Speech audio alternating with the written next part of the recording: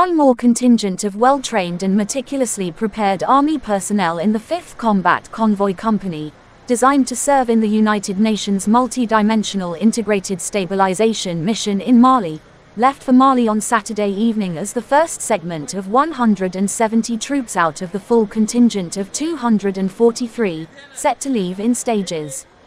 Major General G.R.R.P. Jayawardena, Colonel of the regiment, Sri Lanka Sinha Regiment and Quartermaster General at the Army Headquarters was at the Bandaranaike International Airport departure terminal to see him off.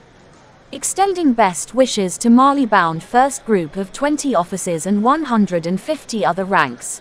Major General G.R.R.P. Jayawardena and senior officers shared a few thoughts with Colonel W.W.N.P. Wikramaretchi of the Sri Lanka Sinha Regiment, commanding officer of the contingent, Major A.D. Bandaranayake of the Sri Lanka Armoured Corps, second in command of the CCC and other members of the contingent.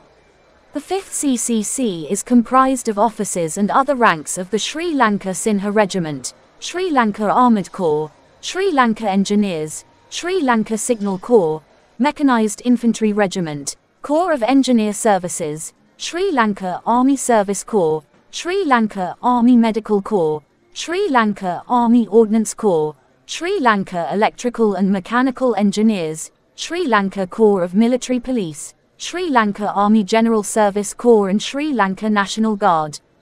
The majority in the contingent is made up of SLSR troops.